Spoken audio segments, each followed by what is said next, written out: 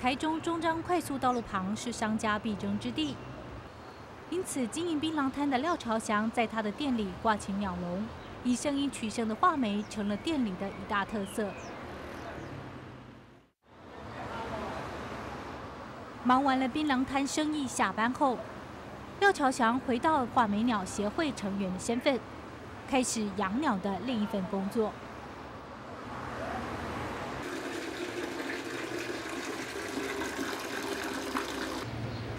啊，伊即款只吼就爱清气的，啊，伊的时薪就是讲啊吼，反正我叫别人就拢莫叫，我老大的，安尼就好啊。啊，别人都对伊叫吼，伊就愈歹愈要共共叫伊莫叫安尼就对啊。所以啊吼，即款只饲伤济会收压就是安尼。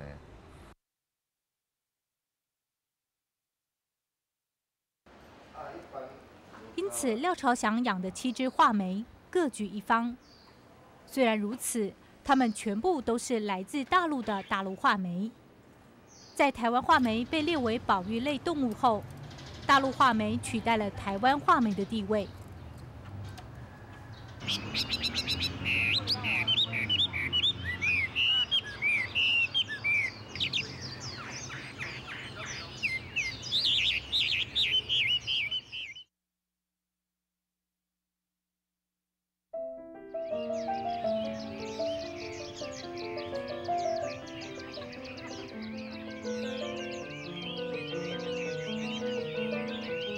清晨六点多，画眉鸟友们摇晃着鸟笼，从四面八方陆续聚集到公园遛鸟。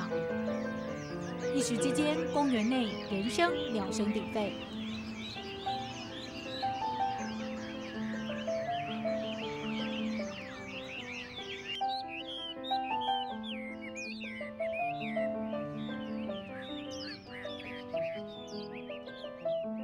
啊，你如果没有这样每天早上养养，它跳上去之后，人家跳来跳去，跳来跳去，看起来都不太喜欢啦。哎哎哎，这个鸟技巧很多啊，有的叫了以后，它会慢慢变形。我们要求就要求它立正就立正，不要变形这样子。很像心愿军人啊，对对对。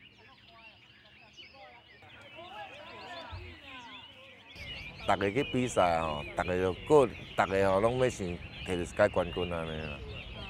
哎。啊，当初饲这感觉有得得冠军才饲啊？哦，当初饲这是讲啊吼，算讲会在时啊爬较会起来啦，生活比较正常。啊，无较早拢算晚困，爱啉，啊过来饲这就生活比较正常。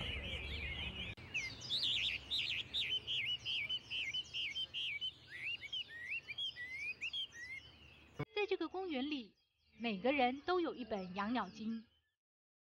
四十几岁的廖朝祥不是最资深，不过因为他的小白在五月初的全国画眉鸟鸣唱大赛中拿下了第一名，因此受到鸟友们的推崇。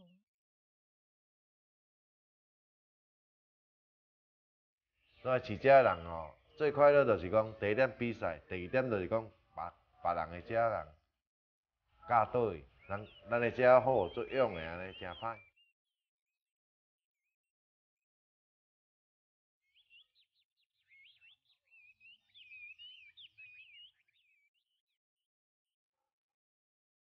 条件哦，就是练甲钓鱼啊共款，练耐心，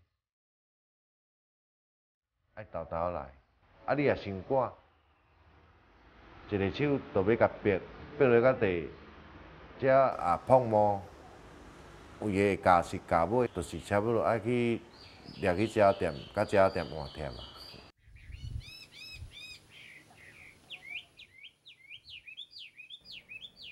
为了培养画眉战力，许多饲主会把画眉带到户外，跟野外的画眉一比高低。有适合斗，有适合打。嗯。他现在在那里也不不会，暂时还不会出来，等他们兴起有没有？熊熊哎，期盼一下有，冲起来叫叫的，甲个味。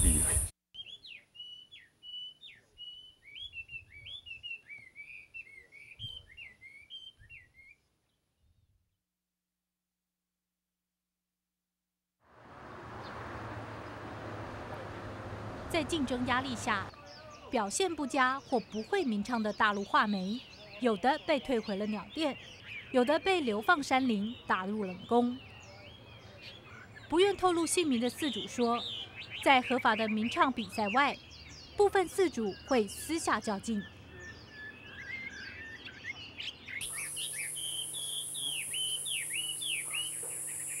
大陆画眉啊，它大陆有分好几好几种好几种地方的鸟，有适合斗，有适合打。有啦，怕叫有啦，怕叫拢有。嘛，讲无人知，听讲的是对啊，因为互恁报落了有无？嗯，因遐着搁用草甲要结死。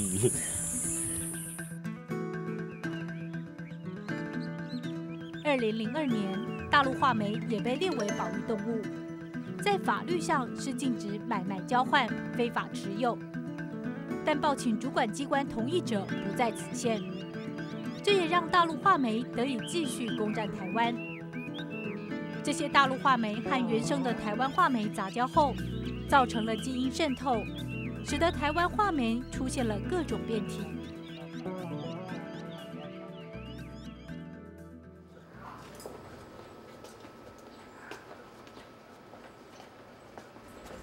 那有一些杂交课题可能已经杂交了非常多代，那它从那个眼圈跟眼眉线上面显现不出那样的特征，可是它有很明显的那个卷毛，然后它其他的就是居住在同一个区域的个体，像这一只的话，它的眉线只有一半，然后我们甚至还发现，就是说它只有眼圈上面哈有四根白毛的。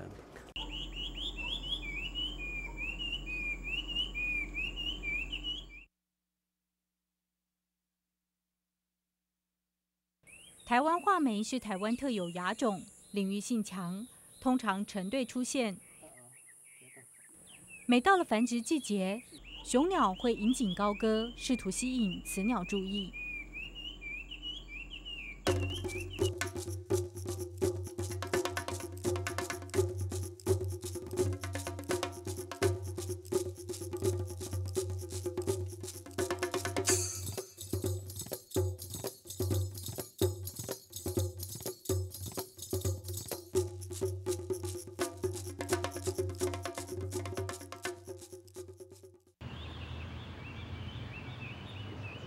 为什么要比赛？就是他比较强壮的个体，或者说学习能力比较好的个体，他可以把很多复杂的音，他从环境里面截取下来那些音节哈，加到他的鸣唱声里面去。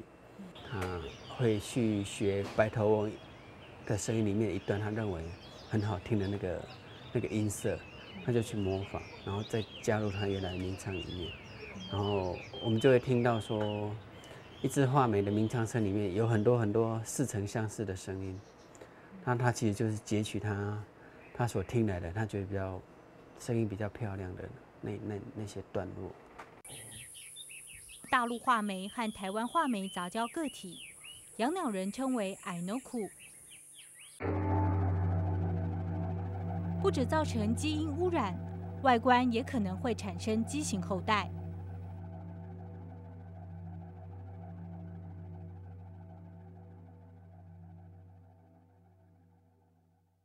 画眉这么难研究的问题是在哪？嗯，我们没有办法掌握我们的研究题材。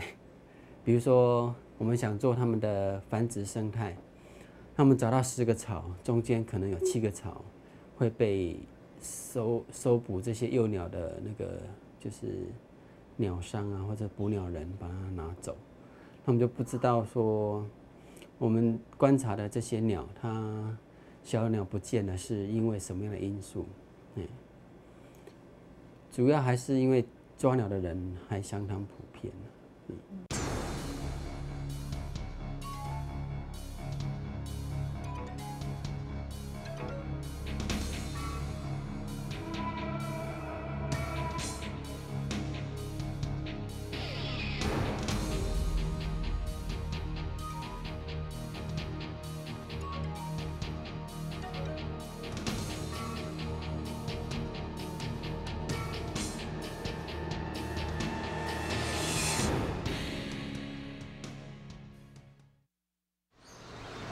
放生是造成野外鸟类杂交以及被捕捉的重要原因。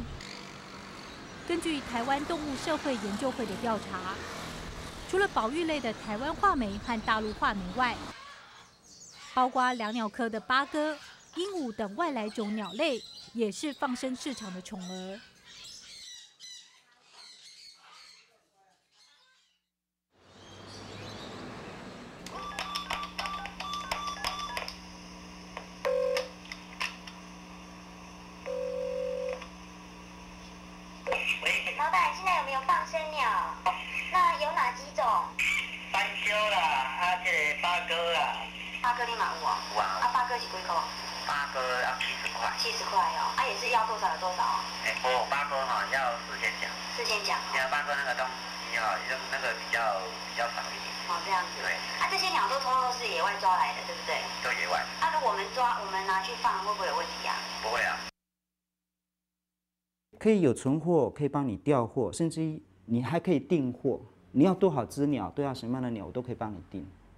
啊，那甚至于说，如果是来自于国外的什么什么鹦鹉，可能就会比较贵呀。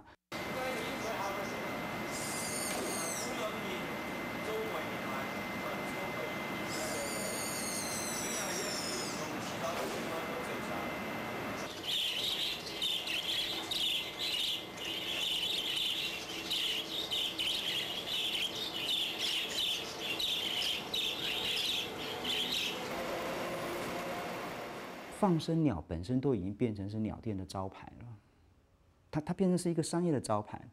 第二个呢，呃，我们不管是从南部抓来，或者从也呃国外进口，然后送给这些放生团体去放生的鸟，你可以看到它的包装都是规格化的。那那那那就表示它它是非常商业的一种一种一种行为。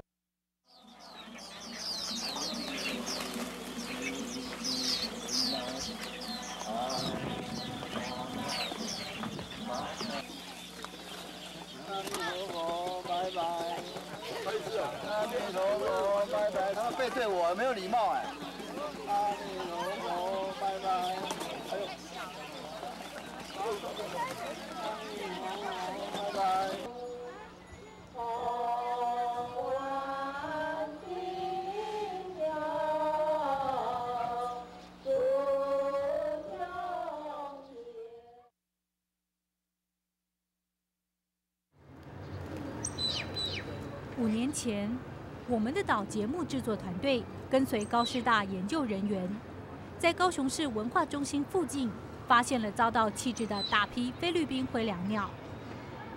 当时的研究人员特别在鸟的身上标记，希望进一步追踪这些外来鸟类行踪。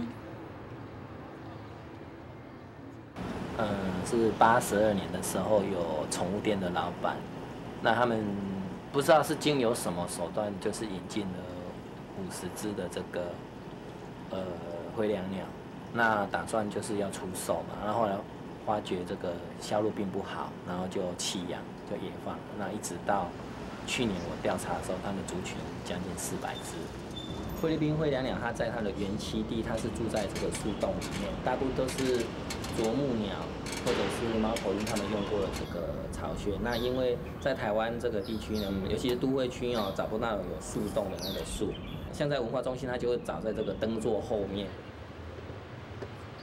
对，小雨是这样。那我们的五年后，灰椋鸟的研究也因为不被支持而停摆。尽管环境变迁，人事更替，当我们重返高雄市文化中心，灰椋鸟并没有消失踪影。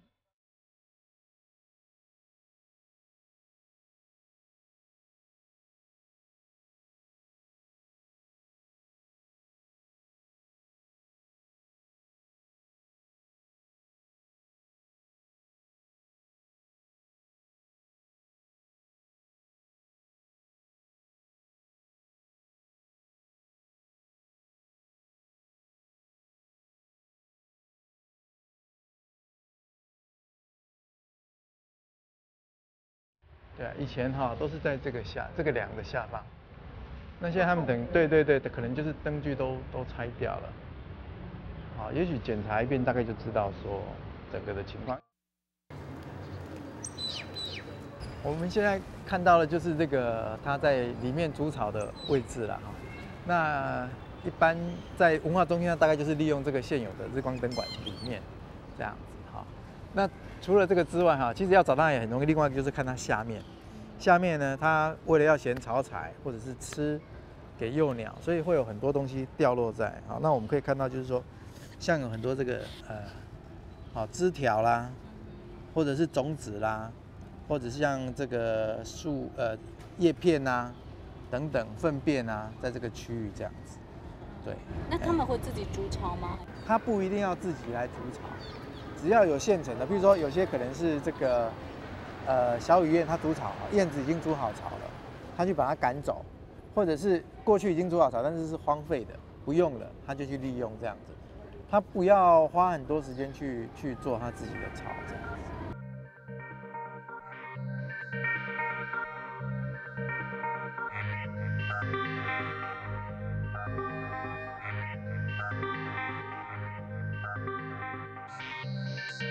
他们跟一般的鸟来讲，比较不怕人啊，因为在我们头上你看不到，不到两公尺的范围哈，还是一样继续在在活动。那这种这种习性就跟我们 台湾本地的鸟就不大一样，可能除了麻雀之外，大概没有鸟会这样，就是说只要看到人啊，我们本地人其实都蛮惊吓的，好，都会比较跟人保持距离。那这种鸟它就是性格就是这么这么。凶悍不怕人，对，所以相对的，其实它对我们的留鸟应该会造成一些影响，这样子。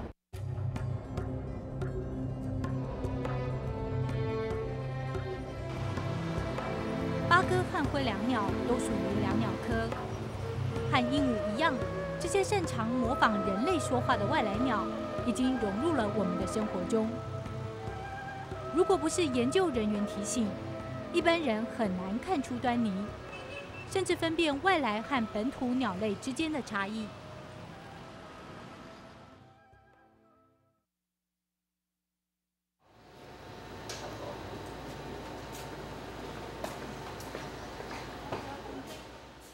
台湾八哥是这一种哈，那台湾八哥它的体型哈，就是说整个体型上也都是以黑色为主要，但是它的嘴巴。跟它的脚呢，颜色会比较象牙白，就是比较白一点哦。那它体型的话会稍微大一点啊，大概一般来讲它二十二到二十三公分左右。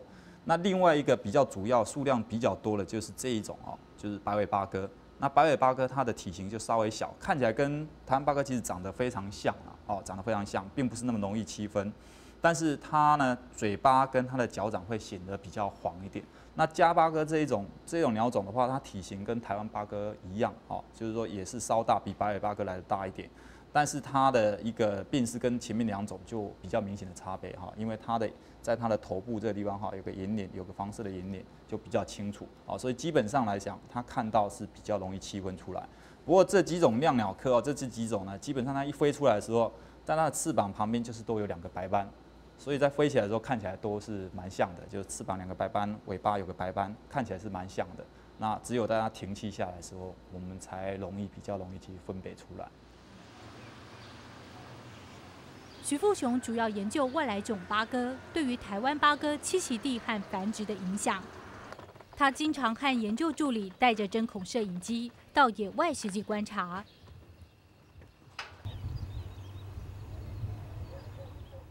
当我们看到它慢慢在傍晚季节了以后，那开始会分浅的，也是慢慢的可能一浅啊三五只或者十几只，那慢慢就会停栖在这样的一个栖地里面。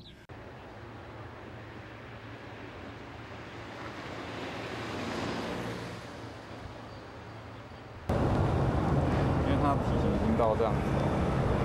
那一般鸠哥科的比较少在这样的环境里面去去栖息，那这个很可能就是早上下的那个雷阵雨，它一下的时候就可能会，就是说有，因为它们本身鸟哈，在它们如果幼体哈比较稀弱的时候，它们就是成鸟，它会觉得没有需要再投资它了。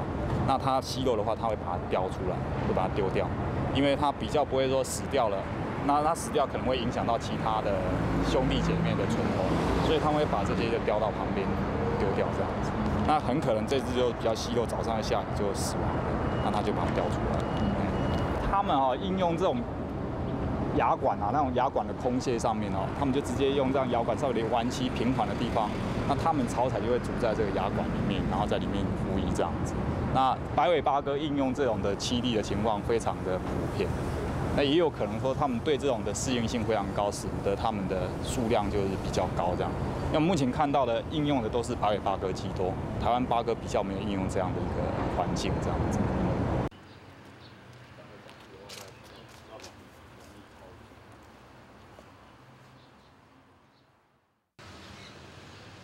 嘉义大学校园的屋檐设计是白尾八哥新的据点。研究人员意外发现，这个全然人工设计的建筑内不到五公尺，同时也有台湾八哥的足迹。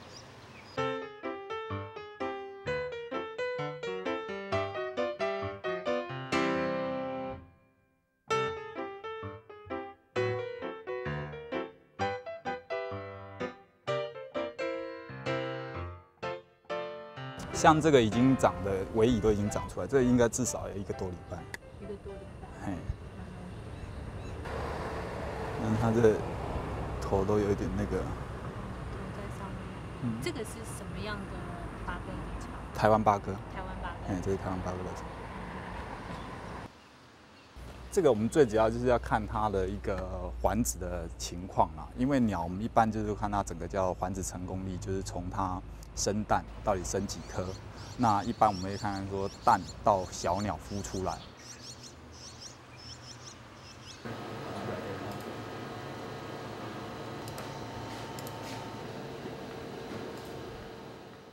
我们在秋冬的时候看到说，哎，一前三百多只前季的八哥里面，那台湾八哥只有十几只啊，加八哥这个也是外来种，也有十几只，但是白尾八哥大概有三百多只。就是说，百分之九十以上都是白尾八哥，那其他的才是少量的台湾八哥。每种鸟都有一定的适存范围，在生态学上称为生态区位。相同的鸟在一个地方就有一定的竞争，慢慢的一段时间后会达到平衡。然后因为人为的关系，忽然间一引进，像现在台湾情况，一引进引进了十几种的量鸟。那他们都是利用相同的东西啊，相同的栖地啊。那本来台湾就是我们比喻的讲，就是本来一块饼就只有一个人吃，只有台湾八哥在吃。那现在一下子有十几个人来抢这个饼吃，那自然而然我能够利用到的资源一定降减低嘛。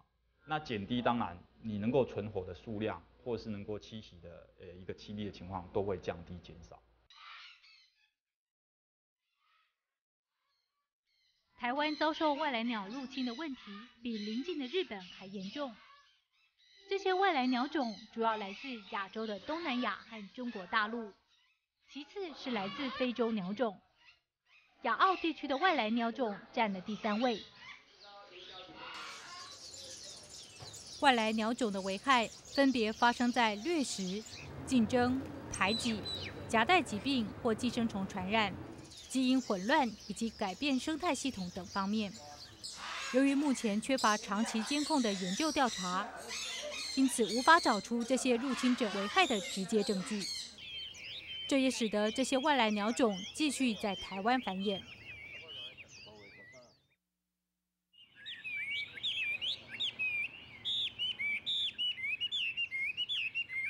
赖先生是画眉协会的鸟友。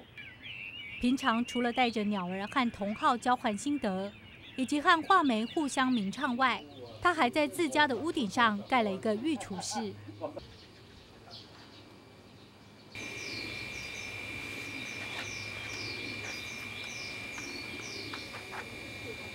啊，你这是家己哦？嘿，我甲配，啊，经的身体较水的，啊，配起来生个囝才会水啊。啊，干要滴？哈，叫我讲要滴。嗯，伊嘛是爱看了。你凊彩甲放一只母啊，伊原来唔肯了，看无介意的，伊嘛不爱啊。所以配不上。伊伊唔肯配对安尼。哦，啊，都爱甲饲对。无，咱爱看，看啥物款的，甲伊较会合吼。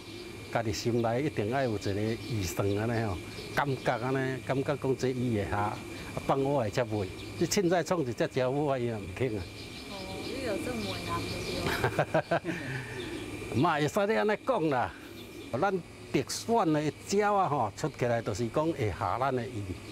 啊，你若讲伫外口买，伊毋是啥鸟公鸟母的品质安怎，咱是无无无了解啦。啊，我经常形形体上水的来配对安尼。在赖先生御厨室的公鸟，曾经在画眉鸣唱大赛中拿过第六名。赖先生已经成功的繁殖了两窝雏鸟，保留第六名血统。以这个动物上面一个原始了解，其实我们可以用人这个来当比喻啊。哦，就像说我们有时候会想去狩野啊、追根啊，那这种东西，如果说你在中间的过程里面不是一个非常独自发展的一个情况。其实你要来追踪他们的一个原始关系的话，就会很大的干扰，就很难进行。保育观念和养鸟人的希望总是很难达到平衡，但人类的迫迁与需要却是外来鸟一入不争的事实。讽刺的是，这些从鸟笼中飞走、由动物园逃出，或是经宗教放生飞到野外的外来鸟。有的甚至被列入濒临绝种野生动植物国际贸易公约的鸟类保育名单。以鹦鹉为例，台湾除了虎皮鹦鹉、玄凤鹦鹉外，其余的外来鹦鹉都列入国际保育。因为人为的猎捕和贸易行为，已经让这些鹦鹉濒临绝种。如果没有严格的管制，这些鸟将会从地球上消失。对本地生物呃的这个，不管是族群或者是生物多样性种类来看的话，其实外来种是一个算蛮关键的一个因素啦。因为目前就是说这种国际贸易或者是一些走私的问题，那把这种原来不属于这个地方的物种，好带过来的这种几率非常的大。那这样的话，它变成说在本地没有天敌，常常会失控。尽量不要饲养，然后就算有饲养的的那个，就是个个人，也不要让他饲养的这些外来物种跑到野外去，那更不要有所谓的就是故意的去放生的这样一个动作。